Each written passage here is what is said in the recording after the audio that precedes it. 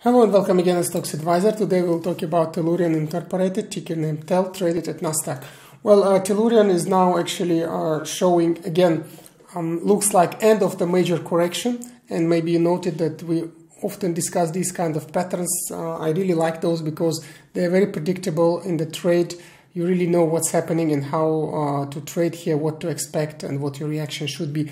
So, first, uh, to understand what's going on here, we are from, uh, let's say, pre-November period really growing here. We had two steps growth. So one was finishing by beginning of the year, and then we had really an accelerated growth all the way from beginning of the year, and then we went actually uh, by mid of January to four plus, and then the major correction started, and we were very strongly overbought RSI wise. Also, MACD was quite high. Then correction started with uh, confirmation of decline that took place at four dollars in the middle of February. We see now the clear uh, correction is taking place with deceleration patterns. So, I mean, deceleration of the decline, meaning it's slowing down. Uh, to understand this, let's look through the channels. So, the first channel of correction was taking place from February to March. It was quite fast. You can see really sharp decline, then, of course, some recovery, and then we had a secondary uh, correction that was a bit slower and it nicely rebounds from moving average 200 by middle of April. What does it mean it was slower? It means that its uh, slope is not that uh, steep, you can see. But now what's happening, uh, we are entrapped between moving average 20 and 50. It's a classical pattern. But what is interesting, it seems like uh, there is a formation of the new channel. If this is really confirmed, this will be even slower one. So we still might decline, but if the bottom is confirmed, we could we could either immediately pierce already. If if it happens, it will be really nice because moving average 20 is already flat, so it might go higher. If this is going to happen, we are going to return to positive move, and then the very first level of the major support resist will be between actually uh, 3 and 350 this will be the channel to wait for. Uh, if we still decline, uh, it's okay if we reconfirm this latter uh, channel. It will be also very good confirmation of, of soon upcoming major correction, uh, major upwards move, so end of the correction. But if even if we have immediate um, pierce of this last channel, it would be, um, let's say, even better confirmation because there are indications for that. First of all, it's MACD. You can see it looks like it's not willing to cross downwards. It looks like going to form the secondary upwards wave. If this is going to happen, it would mean we are really going to pierce higher. So they break the channel upwards. RSI uh, is also staying in the middle of the zone and it might also rebound here going really high. So everything is prepared for upwards move. We don't need... Uh, we, I mean, we need to make all steps not to miss it, but also we need to, of course, take into account possible decline. But there are very well formed support levels where we can keep some money to buy through uh, by this exiting with the profit overall. So, what will be the first uh, area to buy? It's of course in the current channel size. To be more precise, it is within the body of the previous candle. It will be between 199 and actually uh, 218 so let's make it our first call out here. We can write it uh, right here for us. It will be 199 and 218 so this is the primary technical pattern. The most expected uh, behavior is to rebound and go all the way to 3 350 as a midterm.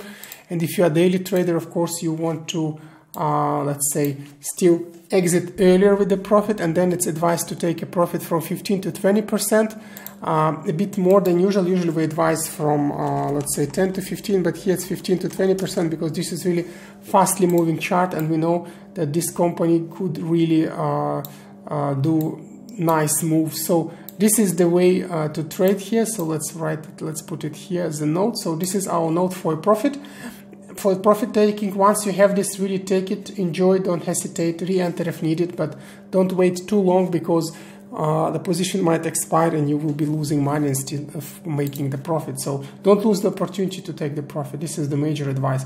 So if the primary technical pattern is not confirmed, uh, if the, we are going to break the wave, um, uh, we're going to break the channel, then of course we most probably also will break moving average 200 and then we just need to uh, see the next uh, strong support level which is just uh, formed here clearly.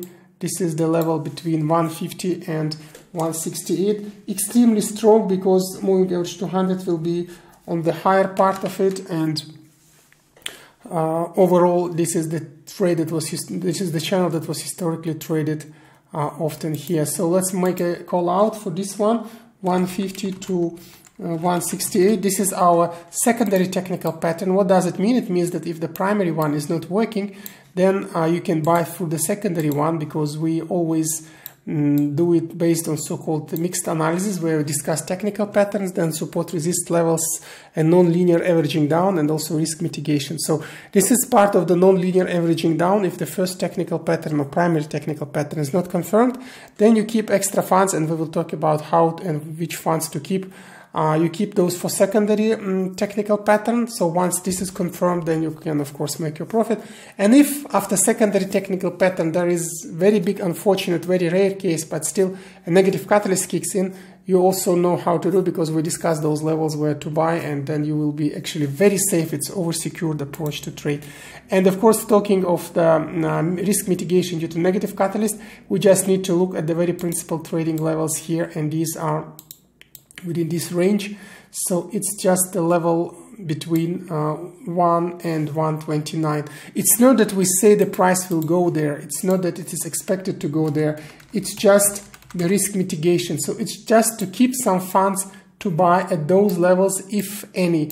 And uh, most probably, and in most cases, usually you don't use those funds in the trade, but you just keep them. This is very important um, because we don't discuss stop loss, we don't discuss um, exiting with losses, re-entering, etc. But we always uh, discuss keeping extra funds to average down non-linearly and exit with the profit. So this might take a little bit longer time, but we don't want to see negativity at the end of the trade. We always want to have it positive or in the worst case scenario, at least a draw.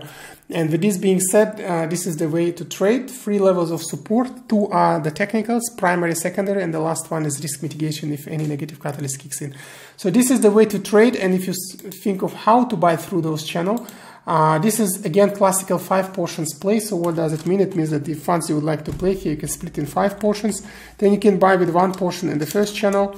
Uh, if the first primary channel is uh, technical channel is not confirmed, then we go to a secondary technical channel. So between 150 168, you buy with another two portions. And if any negative catalyst kicks in and we go to the third line, you just buy with remaining two portions there and then it will be extremely safe way to trade allowing you to exit still with a profit here although maybe it will take a little bit longer time. So this is the way to trade with Tellurian. Overall very nice stock uh, the primary expectation is very positive, at least to the level of 3 to 350, but also we need to keep into account other um, things which we discussed here. So good luck with this one. If you like the analysis and the uh, style of trading we provide and propose in our opinion videos, please don't forget to subscribe to our channel. Also press the bell button. This way you will not miss our new videos and new interesting discussions for US-based stocks.